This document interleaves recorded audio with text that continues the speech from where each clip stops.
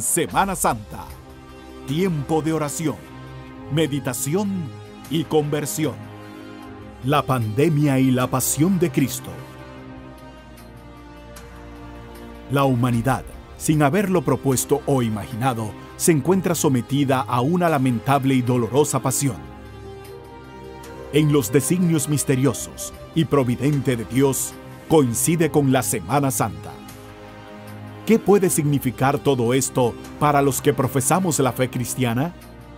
¿Qué desea Dios en nosotros llamar la atención? En clave de fe, vivamos esta nueva pasión a la luz de Cristo. Domingo de Ramos. Se inicia no solo con la entrada triunfal de Jesús a Jerusalén. Nuestra fe suele ser muy vacilante. Los que dicen, oh sana, mañana también pueden gritar, crucifícale. La sentencia de la crucifixión nos recuerda que, antes de que esta humanidad, en un hecho inédito, se viera sentenciada a esta pandemia, a nuestro Señor también lo sentenciaron a morir. A diferencia de nosotros, Él aceptaría con paz la voluntad de su Padre Dios. También hoy como ayer, habrán personas como Judas, que traman de forma encubierta y en medio del sufrimiento de muchos inocentes como Jesús. Hoy en día sería como la propagación del virus al menor postor por 30 monedas de plata. Quienes lucran de esta tragedia humana se convierten en nuevos Judas. Si no se arrepienten de corazón, darán cuenta a su tiempo de su pecado. Jueves Santo. Jesús, ayer como hoy antes de padecer, lavó los pies de sus discípulos.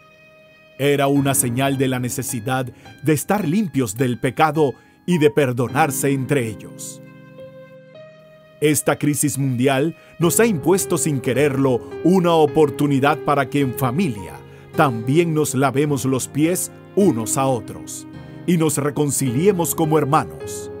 Si no lo hacemos, no tendremos parte con Dios. Anímese a amar y perdonar. Hoy vemos tantos testimonios de personas que están sacrificando sus vidas con amor y generosidad por miles de enfermos, personal de salud, agentes de seguridad, diversos organismos estatales y voluntariados. A ellos les recuerda Jesús, cada vez que hicieron el bien al prójimo, a mí me lo hacían. Por ello sus obras quedarán inmortalizadas. Ese mismo día, en que iniciamos el triduo pascual, Jesús confió a su iglesia dos remedios para los que crean en Él. Su corazón eucarístico, pan que da la vida y remedio para cualquier mal, porque es la misma vida de Cristo para el mundo. Es el antídoto que todos necesitamos. Y también instituyó a aquellos que en su nombre, como hoy está ocurriendo en muchos sitios críticos, la potestad de conferir el perdón de las culpas. Hoy también un número plural de consagrados se suman al número de las víctimas de esta pandemia, como dio su vida a nuestro Redentor. Seamos agradecidos con Dios, porque en medio de esta pandemia no faltan los buenos pastores que en su nombre nos bendicen. Viernes Santo. Jesús muere en la cruz por nuestros pecados, sin tener él la culpa alguna. Por amor se entregó a la muerte para darnos vida.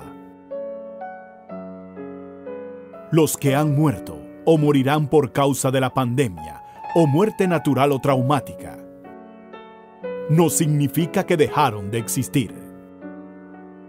Son trasladados a otra realidad. Se llama inmortalidad. Y es lo que Cristo nos vino a enseñar. Por eso cada quien elige antes de que acontezca la muerte. ¿Qué decidió? ¿Salvación o condenación eterna? Quien crea en Él, aun cuando haya pecado mucho, pero se arrepienta a última hora como el buen ladrón, obtiene la salvación. Todos aquellos que están muriendo ahora o moriremos mañana.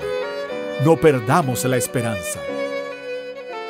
Jesús nos dice, el que cree en mí, aunque haya muerto, tiene vida eterna. Y te pregunta, ¿crees esto? Es tu decisión. Oremos por todas las víctimas de la pandemia que como Jesús, en Viernes Santo, también padeció y murió sin cometer mal alguno. Sábado Santo.